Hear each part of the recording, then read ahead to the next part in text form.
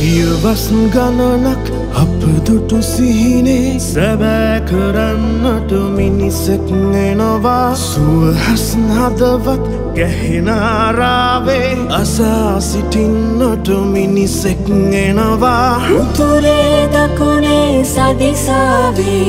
හදේ පැතුමනේ මිනිසාවේ ජාතික ජනබලවේගේ ජනාධිපති අපේක්ෂක අනුර කුමාර දිසානායක මහතාගේ ජයග්‍රහණය වෙනුවෙන් සංවිධානය කෙරෙන දිනුම රටට රට අනුරට ජනරැලි මාලාවේ ආනමඩුව ජනරැලියට එක් වෙමින් ඒ මහතා මේ බව කියා සිටියා.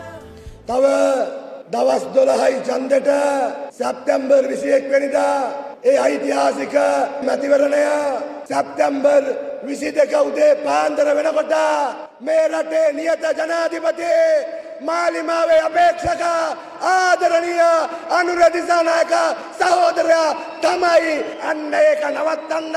කාටවත් ඒ ජයග්‍රහණය දැන් වළක්වන්න බෑ ආදරණීය අම්මේ තාත්තේ සහෝදරයා සහෝදරිය. මේක අපි දිනන්න ඕන මැච් එකක්.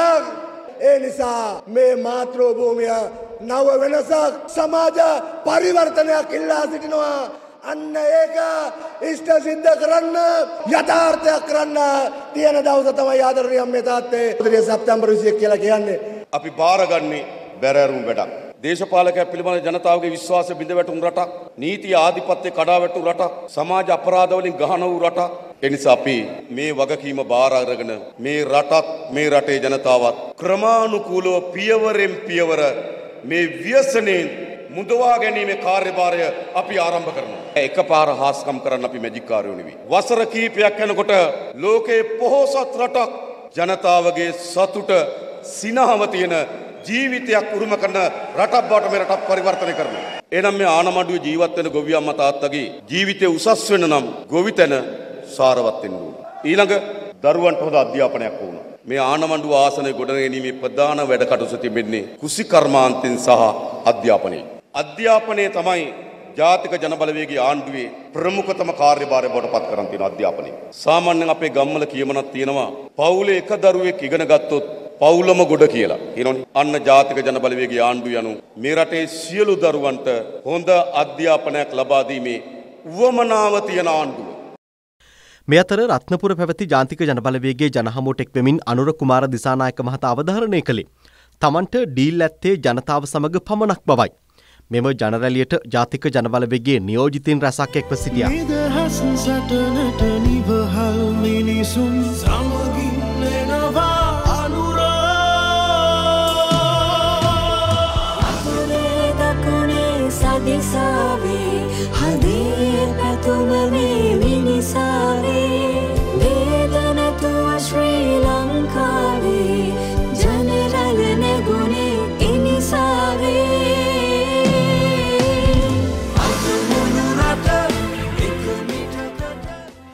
ජාතික ජනබලවේගේ නිර්මාණය කළේ මේගොල්ල වුණාට අද ඒක ආරක්ෂා වෙන්නේ ඔබේ අතේ.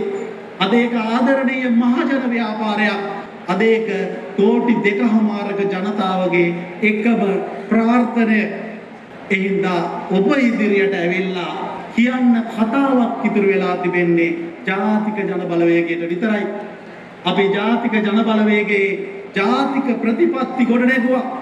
ජාතික ජනබලවේගෙන් සමත් වුණා ඉතිහාසයේ පළවෙනි වතාවට මේ රටේ විවිධ වෘත්තිකයන් සංවිධානය කරලා ඒ අයගේ දිස්ත්‍රික් සමුළු තියලා ඒ අයගේ ජාතික සමුළු අගනුවරදී තියන් ඒ වගේම ලංකාවේ ප්‍රථම වතාවට අති විශාල අති දැවැන්ත කාන්තා ව්‍යාපාරයක් ගොඩනැගුවා ගැහැණු අපි එක මිටට නමි.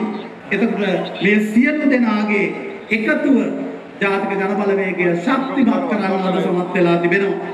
ජාතික ජනබලවේගය මේ විදියට ප්‍රඥාවේ වේදිකාව හැටියට ගොඩනගලා තියෙනකොට මට මතක් වුණේ මේ වේදිකාව අද අපි ගොඩනගලා නොතිබුණා නම් ජනතාවක් හැටියට අපි කොච්චර අසරණද කියලා.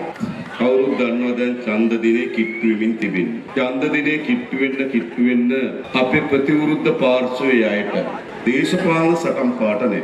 අද ඔවුන්ගේ මුළු විවේචනම පදනම් වෙලා තිබෙන අවලාද. මොකද්ද? අනේ එයා එහෙට මෙහෙට පණින එක වැතිරි මොනවා කියන්නද එයා ගැන? එයා ගැන මොකද්ද කියන්න තියෙන්නේ? මේ සැරේ සජිත්ගේ වේදිකාව. ගිය සැරේ ගෝඨාභයගේ වේදිකාව. 2015 මහින්දගේ වේදිකාවේ මෛත්‍රිගේ ආණ්ඩුවේ 2010 පොන්සේකගේ වේදිකාවේ 2000 විතර චන්ද්‍රිකාගේ වේදිකාවේ ගණන් ගන්න එපානි. ඇට නැති දිව එච්චර ඒගොල්ලන්ගේ රැස්වීම දිහා බලාගෙන හිටපුවාම බනිනවා බනිනවා බනිනවා දැක්කද වේදනාව.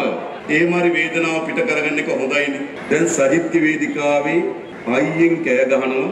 රනිල් සහ අපි අතර ඩීල් එකක් තියෙනවා. ඔය සජබේ ඉන්න තුනෙන් දෙකකට වඩා වැඩි ප්‍රමාණයක්. පෞගිය මාස දෙක තුන ඇතුළත රනිල් වික්‍රමසිංහත් එක්ක සාකච්ඡා කරා. ඒ නිසා මතක තියාගන්න ජාතික ජනබලවේගය අපිට එක ගනුදෙනුවයි තියෙන්නේ. ඒ මේ මහා ජනතාවත් එක්ක තමයි අපේ සම්බන්ධය තියෙන්නේ. දැන් යනවා ආයේ කතාව. අපි ආපුවාම පෙරහැර නතර කරන නුවර. ඒක කිව්වේ තිස්ස අත්තනායක දැන් තිස්ස අත්තනායකට විරුද්ධ දැම්මම එන්තර වාසයක් කරියා. දානව නඩු මොකද තිස්ස අත්තනායක කියන්නේ ඌට ලේඛන හදන්න අපන් උපති. දැන් තව එකක් කියනවා අපි ආපුවම දීපල පවර ගන්නවලු. අපි ආපුවම ගෙවල් පවර ගන්නවලු. නෑ. අපි ආපුවම තව තව ඕගොල්ලෝ හම්බ කරන්න. තව තව ධනෙ උප්පද්දන්න ජාතික ජන බලවේග ආණ්ඩුව ඒකට අවශ්‍ය සහාය සහ පහසුකම් හදලා දෙන්න.